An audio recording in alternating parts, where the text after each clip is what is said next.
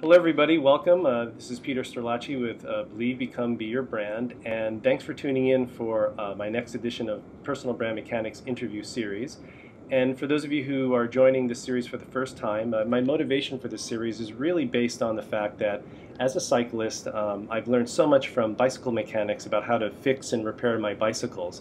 But I've also realized that I've met some pretty amazing people in my work who I like to call personal brand mechanics, people who have tools and tips and strategies that really help us to build, maintain, and even repair our personal brands.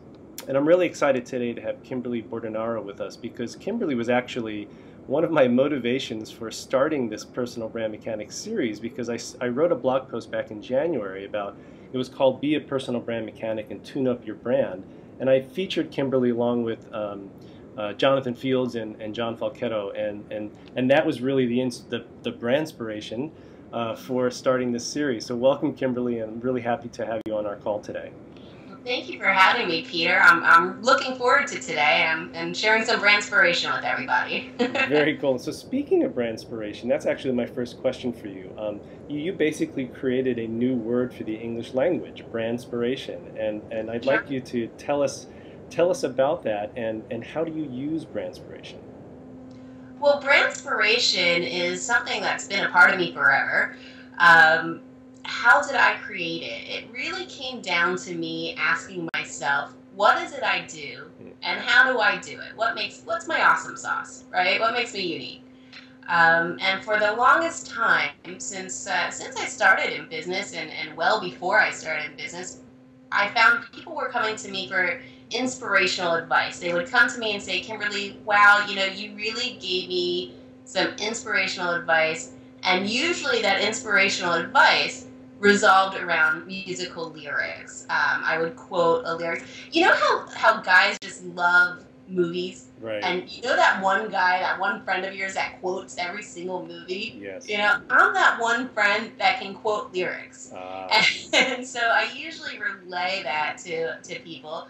I've been doing branding and, and marketing and public relations for a year, so people come to me for that type of advice. Putting branding, inspiration, brandspiration, it all came about. Very cool. It's it's um, you know it, it's kind of like that word that that really you know defines I guess your brand too, right? I mean it's it's you're all about brandspiration. Absolutely, absolutely. so well, you know, I was thinking, um, you know, in your experience with the branding work that you do, um, can you share what you see as one of the biggest mistakes that people make when they brand themselves? One of the biggest mistakes I see people do is they want to be somebody else. Hmm. And they'll start out, a lot of times clients come to me and they'll say, I saw this website, or here's a person that I really admire. I want their brand. I've had people say to me, "I love your website. Can you just recreate that for me?" I want I want my brand to be that, and not really understanding that. And in fact, I just wrote a, a blog post about it. It's great to swipe ideas from people, use the ideas that you see working and what motivates you or what inspires you, what you like about somebody, but put your own spin on it um, I've been seeing this a lot. I, I, incorporate a lot of music videos into what I do, and and so that's really started taking off. And I see a lot of people doing that. It's, I love it. It's great. You know, that's how I relate. But I say, you know, do it in your own way. Mm. Find something that that relates to you. Find your own awesome sauce, right? And and put that all over the place. And then use the ideas of other people that help propel it. If you see something that's going successful, but don't don't try to copy. Still be an original. Yeah, yeah, that, that's great advice because, you know, he, here even in Japan, uh, there's really a, a, misconception about branding. When you say the word brand in, in Japan, the immediate reaction is it's kind of creating an image. And right. so it's one of the challenges that I have with, with, with, working with people here. It's like, no, we're not trying to create something that, that you're not. I mean, you, you use what is authentic to you, right? Um, Absolutely. Absolutely. I think that that's kind of like the, the bad reputation that, that that's out there of, of try to try to fake it till you make it or be somebody else or fake an image and you're absolutely 100% be authentic to yourself.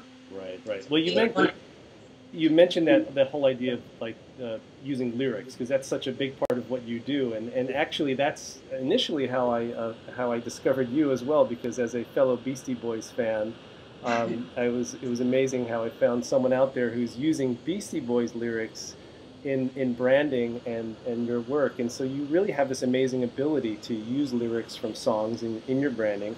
And where does this come from? I mean, tell us how how did this come about and and if you can, can you give us an example of a lyric and how you apply it to branding, personal branding? Okay, so how it came about. Like I said, forever and a day ago, I became that friend that just quotes lyrics. The reason why that happened, well, first, it probably goes way back to 1992. I'll, I'll, even date it, right? Um, 1992. I remember um, Red Hot Chili Peppers came out with um, Blood Sugar Sex Magik, right? Right. I think that was I think that was the one. And then U2 had come out that year, and and um, uh, with Achtung Baby, and we had uh, Guns N' Roses, right? right. With uh, Use Your Illusion one and two, and of course the Beastie Boys, right? I think the Beastie Boys, they, their album came out in '94, so it was all around the same time that that all these great albums were coming out, and imagine little Kimberly. I think I was in eighth grade, right? Maybe seventh or eighth grade. And um, another thing came out that same year the washable markers, or at least that was yeah. the year I found out about washable markers. And I used to sit there and write lyrics on my on my ripped acid wash jeans, right? it was the '90s, right? so that's what I did. It started off with that passion of, of lyrics and understanding them fast forward to um, it was probably around 2000 um, a little maybe 99 2000 i started my career early um, and i was the public relations director for the miami beach chamber of commerce i was 21 years old i was a little girl and i was out there with the, the good old boys of miami beach mm. right and so i would have to sit and pump myself up before these meetings because I had this innate ability of marketing and public relations. I knew what I was doing. Of course, I was learning. I mean, I was 21, right? But I had to go toe to toe with a lot of guys, and that's very intimidating. Sure. And so I used to sit in my car, and I would listen to music to pump myself up. And so there's two two examples I want to give. Great. Uh, Kid Rock, right? Bawitdaba. So I would sit in my car and go, and my, my maiden name is Oaks my name is Kim Oaks, right? and I would like jam out in my car to pump myself up. Uh-huh. So I would listen to a lot of lyrics and music in my car going to and from work. And I was really into Anthony Robbins. Hmm. And one day I'm just listening to um, Beastie Boys. It was maybe a few years later um, oh, the album that came out, I forget which one it was now. Um, but at, at any rate, I, I'm listening to it, and that's really what I did. I would listen to the lyrics of the song, and it would help me get through my day.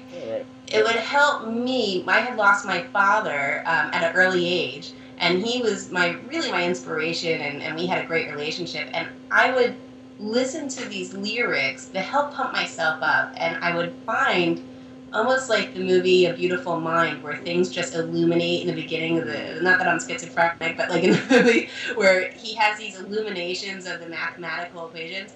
I have illuminations in my mind of lyrics and how to apply that to business and how to apply that to your marketing and branding. So, second part of your question. Yes um, a, an example of this, we'll go with the Beastie Boys. Um, let's see, got scheme schematics, blueprints on file. You have to have the dreams to make it all worthwhile.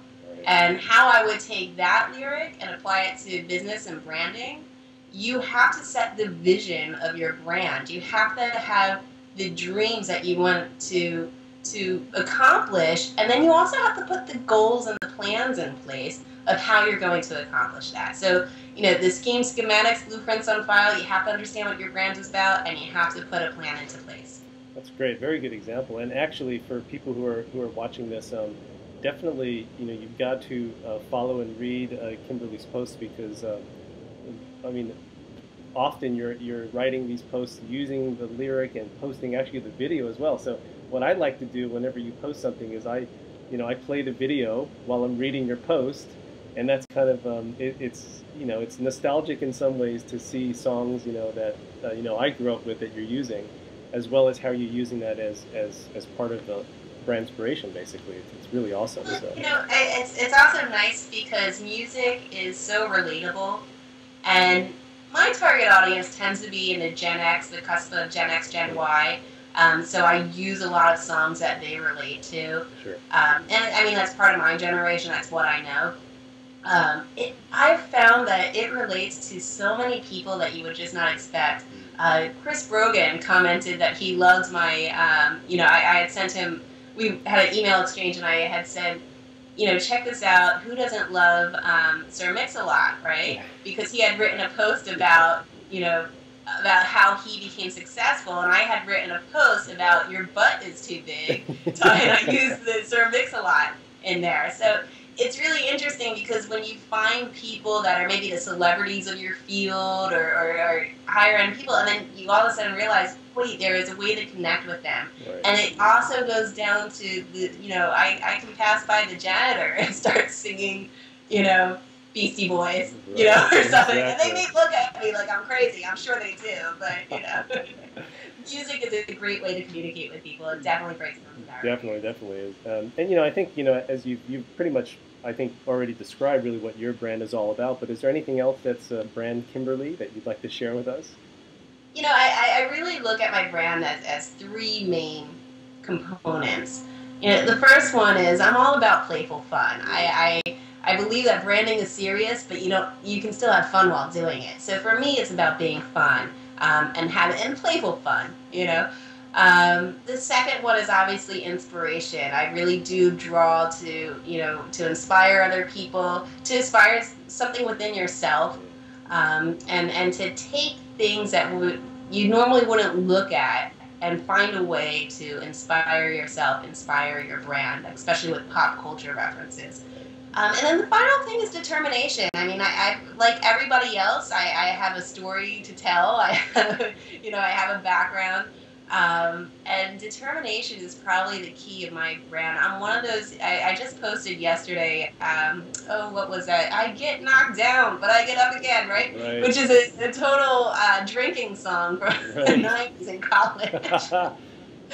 but that is me. You know, yeah. you can knock me down a whole bunch of times. I'm gonna get up, and that's the same way that I feel about my clients. You know, I really look to bring that determination uh, into into the process with them because branding is intimate. Having a personal brand is very intimate, and we all have days where we get knocked down. We all have days where we have to get back up again. And and in fact, I posted you posted uh, the Japanese version of it of um, fall down seven times, stand right. up eight and so I would say that's probably a cornerstone of my brand. Perfect, great. Oh, it's a and that's a wonderful Japanese expression to use as part of your brand too. So, so well, you know, as you know, I said as I, I see you as a personal brand mechanic, um, along with other people, and um, and as I mentioned that as a personal brand mechanic, you have tools and techniques to help others to really build and maintain their personal brand. So I want you to imagine that someone's brand is a flat tire. Of course, I have to use a cycling reference. And how would you pump up their tires so that their brand is ready to ride again? And I, I love your cycling references, by the way. I love brand Peter um, and what that represents. So if I were if I were a mechanic, which I'm not, please don't put me around your car or your bike or anything. It will it will fall apart. but as a brand mechanic, I could definitely do that. I would say start with the basics. Um, you know, when I work with my clients, I put together a brand foundation one sheet for them, and it's basically a one-page guide that they can review and look at and say, okay, this is what my brand is about.